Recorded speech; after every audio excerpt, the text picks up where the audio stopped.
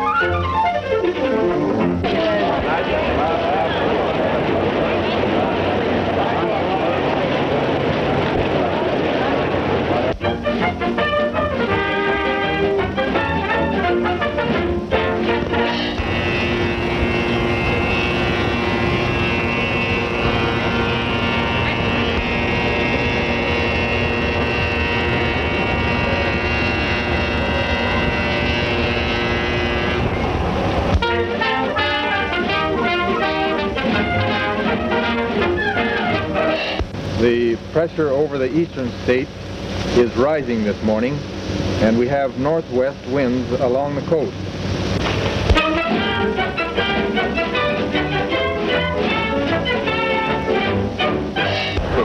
We had a beautiful trip over here, and I'm very happy at the splendid cooperation your Navy is going, is giving us in, in preparing our round the world trip. Everything is working beautifully, and I hope to see you again on our return from the world flight early next month. Thank you very much.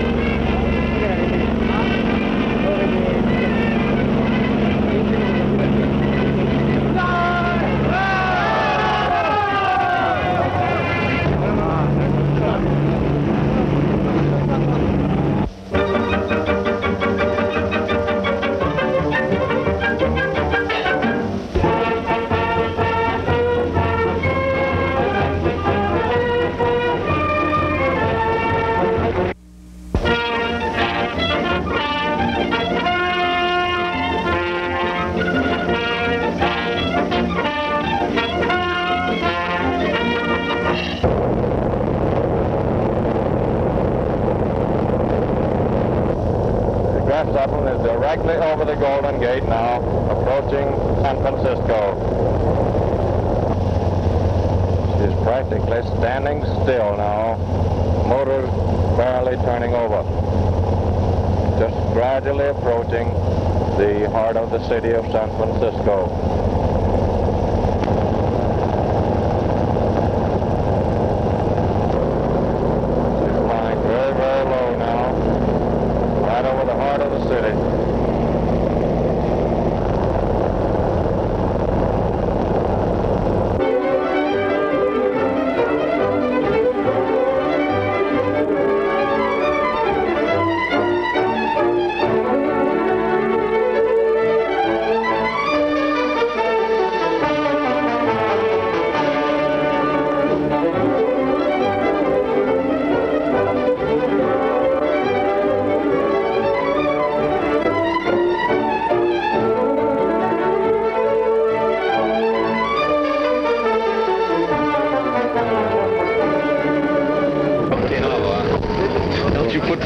just want a good line of what you're saying. Oh, all right. You don't mind it? No, not at all.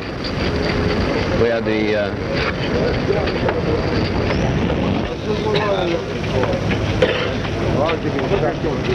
uh,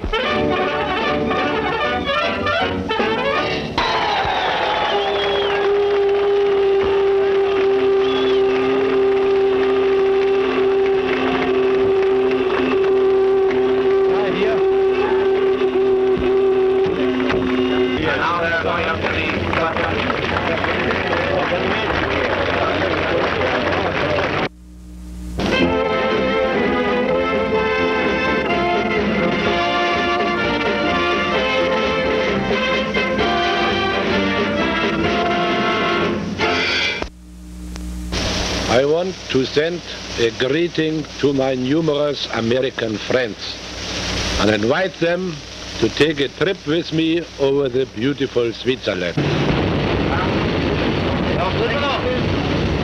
Noch. Jetzt kommt der Grün nicht raus.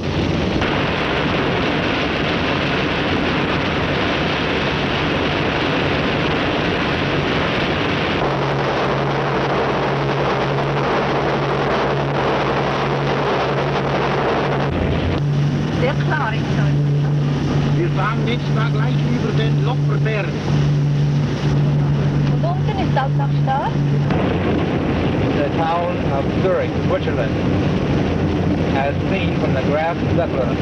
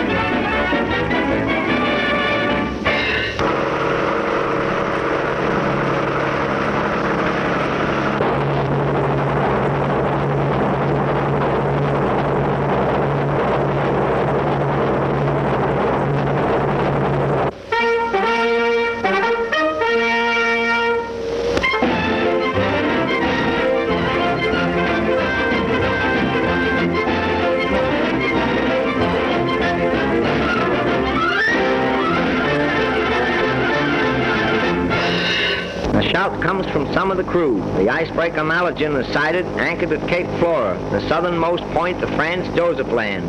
We have been in radio communication with the Russian steamer for some time, and now we prepare to descend to deliver some very welcome mail. Ja, wie lange dauert das noch? Ballon geht gerade raus jetzt. The rope that you see is fastened to a drag anchor that steadies the airship, while a boat from the Malygin comes alongside to get the precious sacks of letters. And here on the right is General Nobile, the Italian explorer, who is searching for his companions lost on his ill-fated polar trip in 1928. Nobile is greeting Lincoln Ellsworth, who was his companion on the tragic voyage. Now Movietone flies with the great Zeppelin into the unknown. Every man's nerves are tense with excitement and pulses beat fast. But no word is spoken as we rapidly pass the grim cliffs of desolate Franz Josef Land with the steady whir of the motors sounding in our ears.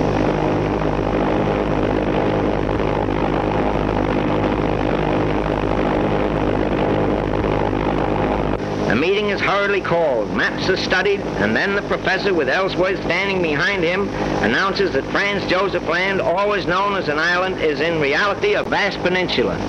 Great ice fields then come into view. It was during this part of the trip that the professor and other members of the scientific group made discoveries that for years all geographical theories regarding this region have been incorrect. With the pole practically at hand, the helmsman prepares to swing back for home. Then, with his greatest achievement accomplished, the Zeppelin's grand old commander sends a message to the world through Movietone.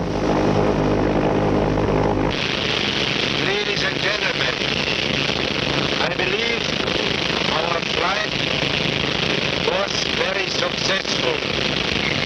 The airship has proved herself as a very the exploration of the Arctic.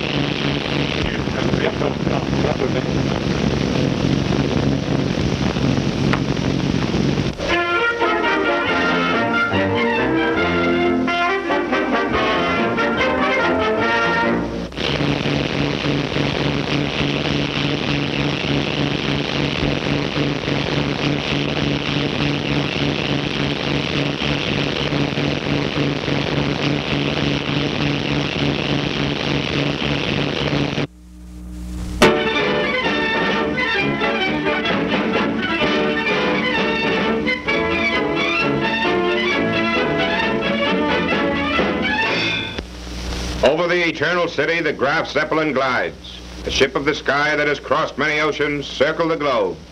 Veteran of airliners, stalwart as any ship that ever sailed the sea, but still a thing so new as she passes over the ruins of the ancient Colosseum. Below her now is the Victor Emmanuel Monument, tomb of Italy's unknown soldier. The king, with Italian Air Minister Balbo, waits patiently for her arrival, which was delayed by heavy winds, but here she is now.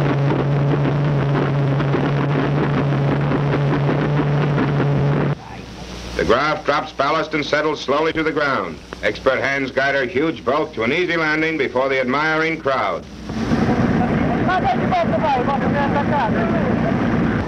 King Victor then boards the Graf to look her over. The Italian monarch takes a keen interest in aviation and everything modern.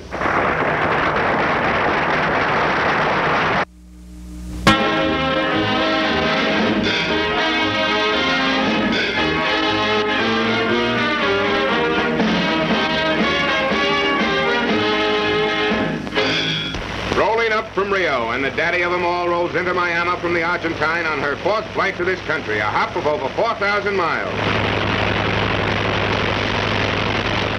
The Graf Zeppelin has flown 275,000 miles all over the globe, and she lands here with the ease of an old stager.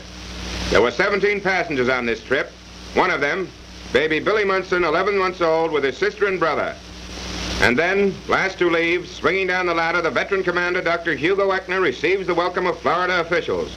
Dr. Eckener piloted the Graf on a trip around the world in 1929 and has successfully flown 17,000 persons on more than 250 flights. All aboard? Leaving Miami, she's off to Chicago's Century of Progress, where this old lady will show 'em all her medals.